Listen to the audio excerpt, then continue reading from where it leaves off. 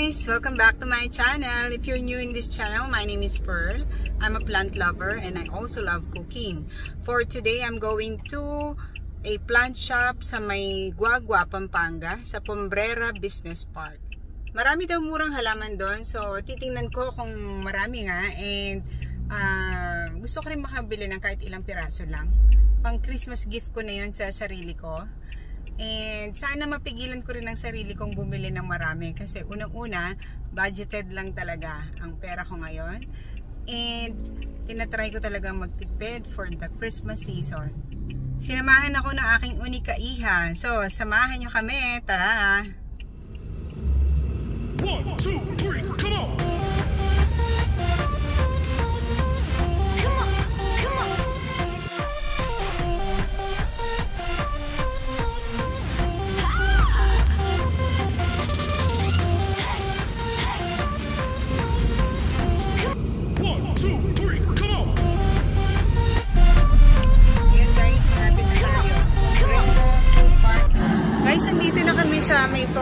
Business Park. Nasa along Jose Abad Santos Avenue lang siya. Ito yung entrance. So, makikita mo siya agad along Jose Abad Santos Avenue.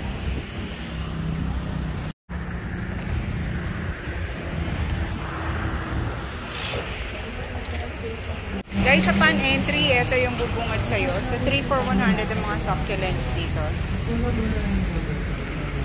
Ganda, no? Mura na siya for 3 for 100. Ako, bibili ko ng succulents ngayon. Ganda. Sige, ikot muna ako. Mamaya babalikan ko to. Mukhang may ongoing Christmas party ngayon dito. Dito maraming mga roses. Paano kaya ito? Stall number 19, Jameson Stall number Benji. 3 to 1. Okay, so nandito tayo sa stall number 3, 2, and 1. Marami dito. Blood leaf ba ang tawag dyan? Magkano ganyan? Ah, dyan ma'am, may uh, stall number 20, ayan, tatlo sila. Ito ang tatlo isandaan? Opo ma'am. Ito raw tatlo isandaan. Ito, Apat siyang daan. O 25 pesos ang isa. Dignas. And Ang mura, no? tatlo. Ito mga tatlo. roses niya, miss. Na. Sa 50 minutes bat, 120 po. Sexy pa namin yung easy. 120 ito. Ayun na dito. Ayaw yung Petit ang tawag dyan, ano? Ay, yung mga ito. ganyang hanging plants. 150 ang Mandarinjo. Mandarinjo, variegated, ano? Variegated, Mondrigo 150. Lush na siya, in fairness. 21 and 21 po. Ang ganda apat. nito, ano to? Indian beats. Indian beans. Magkano po yung ganito? Ito, 450. Yan. 350. 450 itong medyo So malaki. number 21. Itong medium size, 350. Sir, itong mga nandito. Anong tawag dito? Peperomia rosso. So number Magkano yung 21, ganito? Apat po. 280. Ito, 280. 180. 180 itong ganito. Ah, kasi ito patent na, no? Ay, ang ganda. Ito, Enjoy Photos. 250. 250, Enjoy Photos. Ito mga cactus. 600 isa. 600, ito. Ah, Jim, no? Green Ito, Jim, anong no? ano to? Anong plant to? Monstera. Monstera, ano siya? Uh, hindi ko alam yung classification. Okay na ba si stall 22? Eto lahat dito, 600. 600 lahat ng Tama. mga to. Malalaki siya. No? number 23. Ganyan siya kalaki. Uh, makinig kayo guys sa mga stall niya ha. Mm. Ito sir, ano to? Ayun. Sige, ito na tayo sa Ganda stall to. number 230. 24. Tatlo. Anong name nito? Begonia. Begonia to. Malalaki yung ano niya, no? may flower na siya. Sa stall number 23. Ito, yung may halo-halo. Wow. 200. 200. Stall number Bali, succulents. Oo, 1, 2, 24. 3, 4, 5, 6, 7. 7 na succulents in one pot. So, 200. 200. Ah. Ito, mga sold na yun sa ilalim. 100 tong ganito Next, stall number single 26 isa. Etong Mayana, 26. 50 pesos. Negra. Magkano ganito kalaki? Stall number 27, dalawa po. 900. Ito, variegated peace lily, ano? Yes, ma'am. Ganda. How much to? Sa 800 The ma'am. Juliet. 800. Ito, alocasia. Yan, 700. Anong alocasia yan? Ang crumpled, ma'am. Alocasia crumpled. So number 28, tatlo. They're also selling pure honey from Abra. Kaning ganyang bottle per bottle. Pares naman hair. Ano yan? 250. 250. Eh, meron na kayong ano dito, rubber tree na yes, ma'am. ficus. Yes, ma'am. yan. 29. Magkano ganyan? Kahit sa magkano 1.6, po ma'am. ako mamaya. 1,600. Oh, magkakilawin ako. Ah, ito backbone pala to. Meron ako nito sa bahay, backbone pala to. 250. Apat po. 100 yung long soy. Compost mix, ma'am. Bali 50. Compost mix, Loan lot 50. 1. May pumice din sila. Po. Oo. So, ito, Angel and for, for Angel. dalawang piraso ng black velvet is 450. Ito, philodendron, Pero dwarf yan. ah, dwarf 750. Alocasia giraffe. Alocasia giraffe 350. Meron siyang 1, 2, 3, 4, Loan lot. 4, tapos may dalawang baby siya. kalagulan. 350 din. Ang laki nitong ah, aloe vera. Magkano ganito kalaking aloe vera? 1,000. 1,000. Kaya kasi yan yung herbs. Mhm. Loan lot 300 itong marble photos. So, hindi pa siya pate. 300. Isa. So, itong enjoy photos na ganito, Balas. 400 siya. Parking lot 2, dalawa po.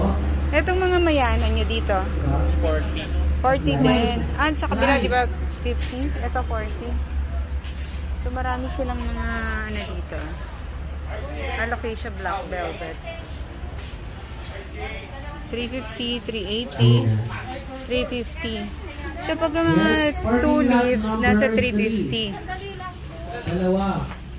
So, dito naman guys, 750 yung variegated. Parang siyang variegated na aloe vera.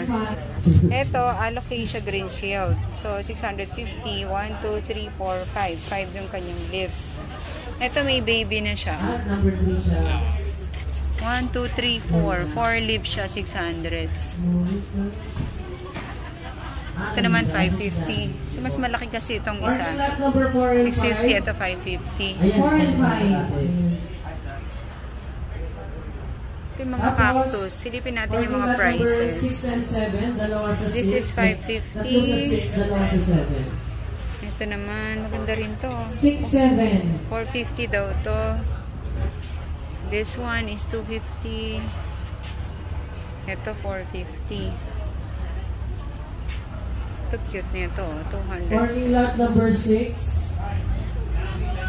Tatlo. Napakamahal nito, Parking lot number 1,800. 7, Dalawa. Pero rare siya, oh. This is 350, ang ganda. Ito parking naman sa taas, 10 and philodendron 11, Dalawa, dalawa din po. This is 10 and 11, 750. last na yun, dalawa, dalawa. Ito 1,500. Magtitinda ng prutas na ito. Ay, din. Ano? Ito, oh. Lastly po yung natitira Ganda. ng prutas. 750 itong cactus na to. Malaki na siya. Yung dito. Tingnan niyo yung kamay ko. Parking lot 10 and 11. Ito string of hearts. Ganda oh. 300.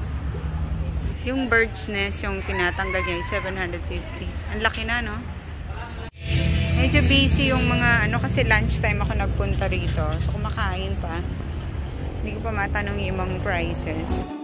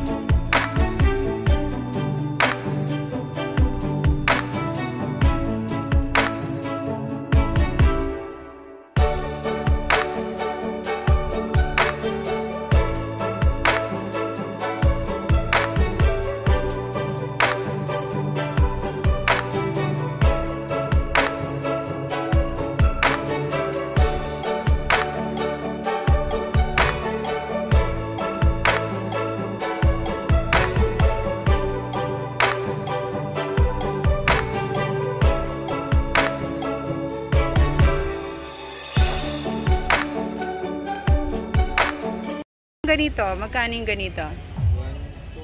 1,200. Ano nga po ba tawag dito? Orbipolia to, no? Orbipolia, yan. Gusto ko yan. 1,200. Itong Adonsoni na medyo madami, 1,000. Ito pong maliit, 500. Ito pong Birkins, 1,500. Ito pong Alocasia, 450 tatlo. Ito po, trailing na yung inyong Marble Queen. 650 po ito. Ito pong malaking malaki. 1,200. 950 yung ganitong orchids. 1,350 trailing na siya. Ito pong caladium niya. 150, 1, 2, 3, 4, 5. Ito, Philodendron Brazil. Brazil 650. And then ito 250. Mix na siya. Meron siyang photos, meron siyang parang Dracena to eh. 250.